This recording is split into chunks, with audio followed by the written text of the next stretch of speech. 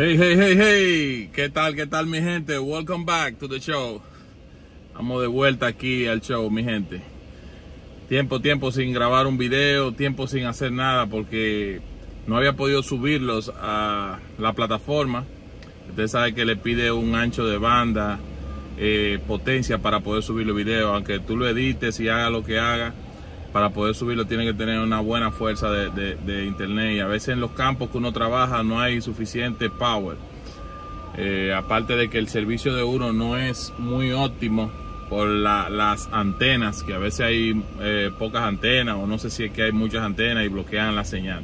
Pero estamos aquí de vuelta, mi gente, con información bastante importante para los que no tienen conocimiento de causa sobre esto y los que sí tienen conocimiento, que ya saben sobre esto, eh, esta información es muy práctica y fácil y sencilla. Vamos a hablar ahora, déjame subir este esta ventana para que estoy descargando aquí en un sótano bajo tierra. Eh, la trailer está bajo tierra, el rifle. Creo que ahí se escucha mejor, no se escucha ya el ruido de afuera. Bueno, eh, vamos a hablar qué hacer y qué no hacer. A ver si es conmigo. Dame un segundo. Tengo ahora.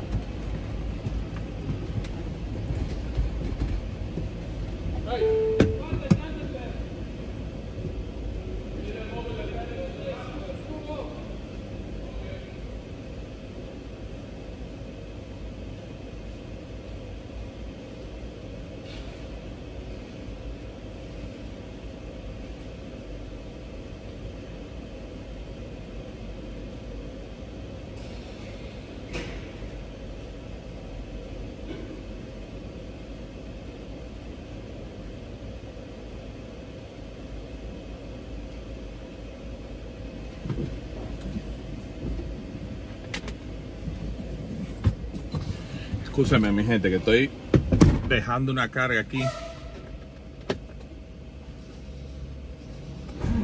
Le voy a hacer un videito al final para que ustedes vean en el sitio que yo estoy sumergido aquí. La parte, vamos a decir la parte trasera de la de la traila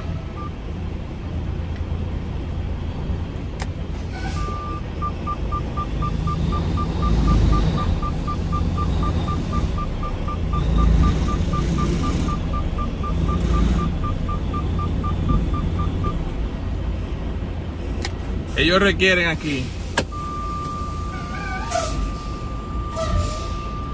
Que uno que uno mueva los tenden all the way to the back. Que lo mueva hacia atrás los tenden ellos requieren aquí. Con el, el, camión que yo tengo la traila que yo tengo porque quedó muy abajo. Entonces Estamos por acá en Detroit. Señores, excúsenme las interrupciones, pero ustedes saben cómo es el mundo de la camionada y estamos, estamos en labor aquí, estamos trabajando. Bueno, lo que quería compartirle era qué hacer y qué no hacer. Qué hacer y qué no hacer cuando tú tienes un accidente en este tipo de camión, vehículos comerciales, llámese vehículos comerciales. Vamos a ver.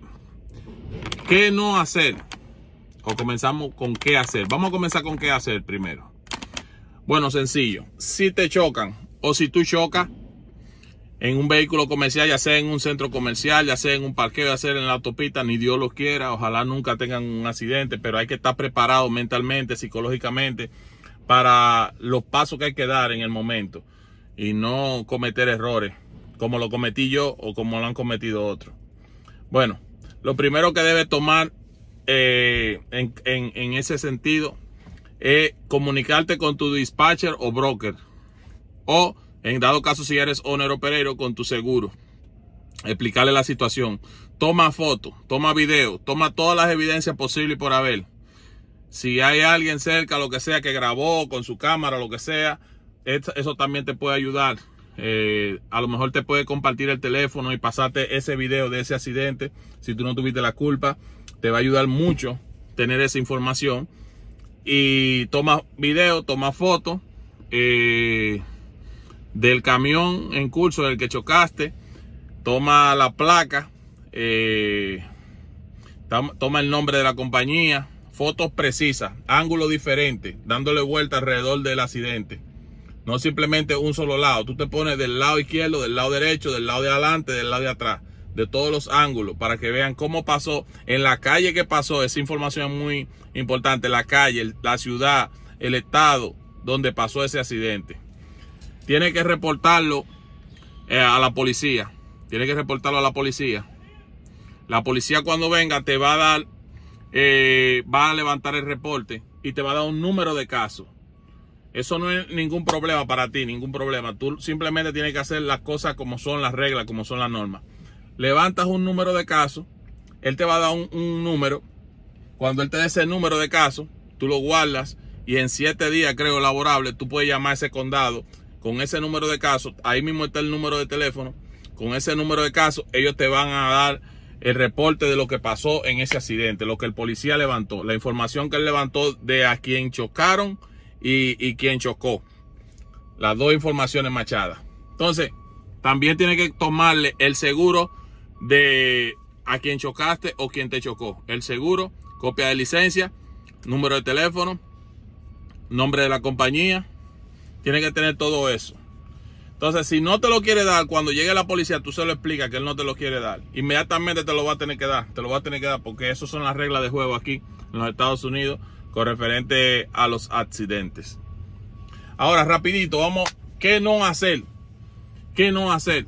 Si se me escapa algo, pónganlo ahí abajo, por favor, que estoy aquí haciendo una recogida y estoy atento a varias cosas. Pero si se me escapa algo, pregúntenme que yo les voy a responder más adelante. ¿Qué no hacer? Algo que yo cometí un error y espero que ninguno de ustedes lo cometa. ¿Qué no hacer? No decirle a su compañía tienen que decirle, eso puede costarte eh, tu trabajo. A mí no, no me pararon de la compañía eh, por, el tiempo que tengo y por el, rango que tengo en la compañía, pero otra persona en mi lugar de seguro lo hubiesen sacado de la compañía, porque hay que reportarlo, tenga tú la culpa o no la tenga, hay que reportarlo cada accidente que tú tengas en la avenida, o que te choquen o que tú choques, tiene que reportarlo inmediatamente al departamento de Safety Department de tu compañía, tiene que decirle todo cómo pasó y por qué pasó y todo. Bueno, ¿qué sucede? Tienes que reportarlo al seguro tuyo. Eh, ¿Qué sucede? Yo hice negociaciones por afuera con una persona a la quien le topé con la traila porque estaba en el lado ciego. Él estaba parqueado en un lado que no se veía. Eh, ¿cómo, ¿Cómo te explico? En un ángulo que no se veía, que estaba muy cerca. Estaba muy cerca del vehículo mío tanto el de este lado como el de este lado. Y yo tenía que salir. Fue en un parqueo de Pilot, del Trust Stop. Fue un parqueo del Trust Stop. Yo voy saliendo.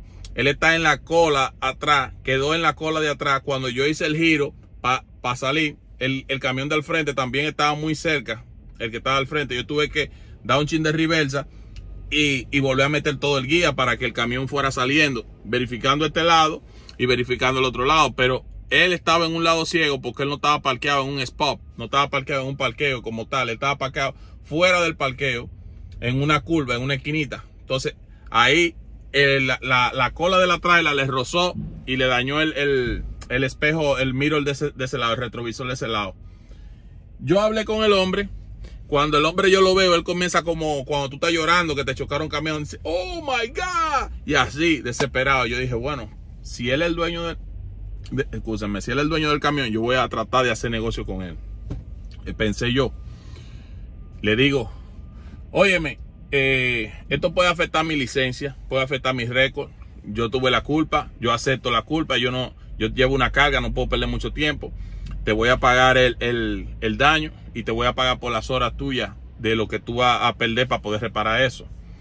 Eh, ese camión es tuyo, me dice que sí. Digo, oh, el camión es tuyo.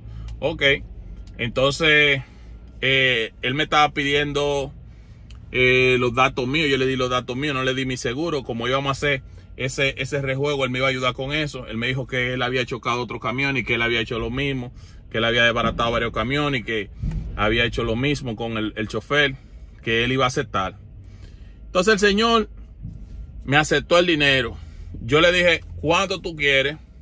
Le dije, ese mirror vale alrededor de 150 o 200 pesos, pero yo no te voy a pagar eso. El juego de mirror de los dos lados cuesta 500 dólares. Yo le dije, te voy a dar eh, 1500 dólares, le dije, creo que fue 2000 dólares. Y él me dijo, no.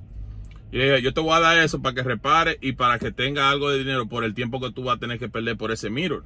Entonces él me dijo, no, yo no quiero abusar de ti. Dame 800 dólares, con 800 está bien. Digo, ¿estás seguro con 800 está bien? Digo, sí. Yo no tengo ese dinero a mano. Yo no ando con ese dinero en mi, en mi, mi bolsillo, en mi pocket. Voy y le digo, dame un chance, déjame ir a ver si el, cajero que está en el, en el pilo adentro me, me permite coger el cash out, coger, coger el dinero. Trato cash, cash advance. Voy al, al, cajero y trato de, de, de, sacar el dinero y me da una parte, me da otra parte y así logré conseguir los 800 dólares, completé los 800 dólares. Le digo, oye, yo te estoy entregando este dinero, guardé los recibos del dinero que estoy sacando. Le llevo el dinero y le digo, yo estoy entregando este dinero, pero yo necesito que tú me firmes, que me haga un documento, algo que tú recibiste ese dinero. Yo no te puedo dar ese dinero así porque yo le quería hacer una transferencia de banco a banco. Él me dijo que no, que él lo aceptaba solamente en efectivo. Digo, bueno, that's ok. Se lo entrego en, efectivo y lo puse a firmar un documento, error 45. Pero me, me, me amarré en salud poniéndolo a firmar por lo menos. Firmamos el documento, él firma su documento diciendo que recibió esa suma por el daño que yo le ocasioné del, del miro, que él lo va a reparar, que él se hace cargo de su cosa. Firma abajo, pa, me pone el número de su teléfono y número de, de, su, de su licencia. Yo me voy con ese papel, lo guardo en mi documento aquí. Yo tenía una copia, una foto, porque primero íbamos a intercambiar los papeles para lo del seguro. Y ahí fue que me ocurrió la, la idea de, de, de, pagarle. Entonces, eh, yo tenía la copia de su licencia la foto de su licencia de, los dos lados, de ambos lados. Yo lo tenía, la guardé y pasa el tiempo, no pasa nada, todo bien. Eso quedó ahí. Yo me fui, él se fue, nos despedimos, quedamos bien, quedamos amigos, nos saludamos, nos despedimos. Rian, yo me fui a hacer mi diligencia de la entrega que estaba haciendo, estaba entregando una carga, la, la entregué. Cuando termino de entregar la carga, como a los dos meses, a los dos meses y algo, me llaman del el eh, el Safety Department de la compañía donde yo trabajo, el departamento de seguridad de, de la compañía. Cuando ellos vienen y me llaman, me dicen, mira, tuviste un accidente y no lo reportaste, ¿qué pasó?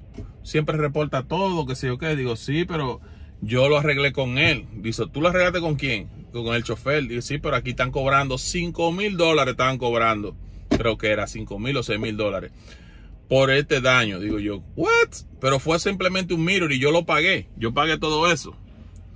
Me dice él, me dice ella, bueno, llama a este número de teléfono, comunícate con esa persona porque ella está llamando aquí a la compañía y dice que tenemos que pagar eso y nosotros no lo vamos a pagar, va a tener que salir de ti.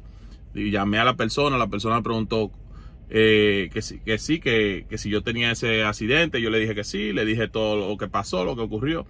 Y cuando le dije que yo le pagué a la persona. Me dijo, ¿a qué persona? Digo yo, al chofer. Dice, no, el chofer no recibió el dinero de ti. El, el chofer dice que no. Digo, ¿cómo?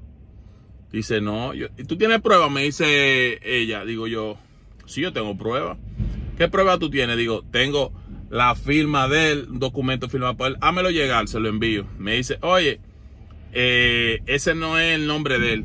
Oye, digo, ¿cómo? Ese no es el nombre de él. Digo, ay, ay, ay, ay, ay, qué rebú me ha hecho este hombre, Dios mío. Dice, dice la muchacha, pero alguien aquí está mintiendo, me dice ella. Estamos hablando, la, la, jovencita de, seguridad de la otra compañía me está llamando. Me dice, alguien aquí me está mintiendo. Digo yo, bueno, eh, yo tengo mi documento y ese día yo saqué ese dinero y le pagué a él y en ese sitio. Y tengo pruebas, tengo fotos, tengo videos, tengo todo de él. Me dice, a mí llegar entonces, si tú en verdad le pagaste a él, a mí llegar entonces lo que tú de, de eh, sacaste, si tienes recibo, de, de, del banco. El dinero que tú sacaste, si tú dices que le pagaste 800 dólares. Fui lo busqué, los recibos yo los tenía, gracias a Dios, guardado, todo grapado, todo guardado. Le mandé foto por foto. Y ella me, me, me dijo, oh, mira que, que estaba mintiendo entonces. Ahí ella de, descubrió que el que estaba mintiendo era el señor. Y no sé la consecuencia que él pasó, pero ella me dijo que él va a tener que cubrir con todo eso. y ya eso quedó ahí. Logré salir, no, di, no, no recomiendo a nadie que haga eso. Logré salir y jamás vuelvo a entrar a ese tipo de, de negociación. Ya sea que me choquen o sea que yo choque. A mí me chocaron esa puerta y yo para no ponerle punto a una persona le dije no, eh, déjame hablar con mi departamento de safety y vamos a ver si lo hacemos por afuera para que eso no te, no te dañe tu récord, porque yo sé lo que hace eso, que te sube el seguro y te daña el récord. Ya yo no hago eso con nadie, ni que... No, no, no. El que me chocó o yo lo choqué, hago mi procedimiento como le dije primero. Foto por todos lados, alrededor, de todos los ángulos. Teléfono, eh, licencia de la persona, el seguro de la persona, nombre de la compañía, todo eso, el DOT number, toda esa información usted la recopila y la tiene ahí. Entonces llama a la policía, señores. Llama a la policía para que haga un reporte del accidente. Llama al seguro para hacer un reporte del accidente. Y llama a su safety department o a su fleet manager. Llama a su safety department. No sé qué tienen en la compañía que usted tenga. O si usted es el owner operator. Pero esos son los procedimientos, mi gente. No hagan lo que yo hice, no cometan ese error. Traten de hacerlo lo más legal posible porque las consecuencias son caóticas. Ustedes saben lo que después de yo haberle pagado 800 dólares al, señor, ahora tenía que pagar 5 mil o 6 mil dólares más. ¿Eh? Fuerte. Y por un mirror, que un mirror, eh, yo lo busqué en internet y ese tipo de mirror lo encontré creo que fue en 250 dólares. No sé, era, era bien barato eso. La montura, digamos que costara 300 dólares. La desmontar y la montar, vamos a decir que costara todos 600, 700. De ahí llevarlo a 5 mil. Hmm. Es bastante dinero, mi gente. Es bastante dinero. Pero nada, mi gente, quería llevarles información. Eh, no se asusten. No, yo sé que uno se pone nervioso cuando tiene un accidente. Eh, piensen frío, tomen nota con lo que le dije para que sepan qué hacer y qué no hacer reaccionar frío ante, ante el problema. Yo sé, uno es humano, no se pone nervioso porque es un accidente, uno no quiere chocar con nadie, uno no quiere eh, llevarle un problema a otra familia, ni a una compañía, ni nada de eso. Pero los accidentes suceden, créanme que suceden. Esperemos que a ninguno de nosotros, a nadie le, le suceda un, un accidente y que sepan controlar la calma y tomar los pasos al lugar, los pasos a seguir. Pues a veces estamos en un país como este, nadie nos dice estas cosas de cómo hacer cuando nos pasa un accidente. Andamos corriendo y haciendo la diligencia, haciendo el trabajo, pero no sabemos qué hacer en estos casos. Ahora ya tú sabes qué hacer en este caso. Solamente tienes que poner esto en agenda. ¿Qué hacer? ¿Qué paso? Lo puedes escribir por ahí. ¿Qué necesito de, de, a quien choqué o quien me chocó? Eh, ¿qué, ¿Qué primer paso tengo que hacer? Recuerda, llamar a la policía para hacer un reporte policial, porque tú tienes que presentar ese documento cuando ya suceda a los siete días, creo que te lo dan, dependiendo del condado. Llamar a la policía para que venga a hacer el reporte. Tienes que llamar al Safety Department para notificar lo que pasó. Tienes que llamar a tu seguro para también notificar lo que pasó. Tienes que tomar fotos alrededor de, de donde tú estás, con la calle, el número de la empresa, el nombre de la empresa, el número de la placa, todo, todo, todo lo que tú puedas recopilar. Mientras más información recopile, mejor ellos van a armar el muñeco, como decimos nosotros.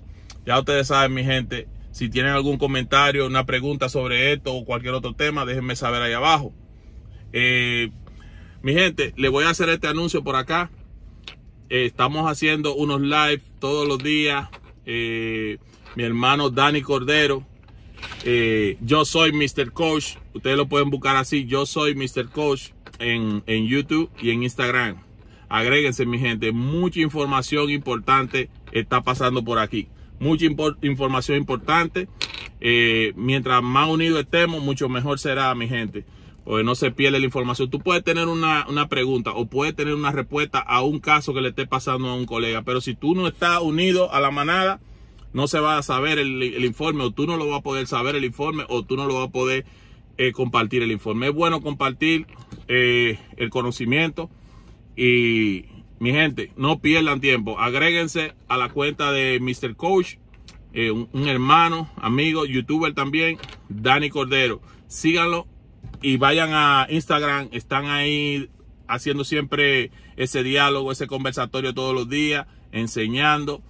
Eso es en Instagram. Ustedes se agregan por YouTube para que lo localicen y lo siguen por la cuenta de Instagram. ¿Qué sucede? Que todos los días, como de 4 de la mañana a 10 de la mañana, lo pueden localizar en Instagram y abriendo el, eh, como dice, abriendo el, con el bullpen, excúsenme, no lo tengo, yo no tengo nada escrito, todo de la mente. Eh, calentando en el bullpen, calentando en el bullpen. Eso es a las, creo que a las 4 de la mañana, ya le está calentando en el bullpen en YouTube y luego se cruza para Instagram. Así es que no pierdan tiempo, mi gente. Y los que no han sacado su licencia, mi gente, pónganse a sacar su licencia antes de febrero. Traten de hacerlo, mi gente.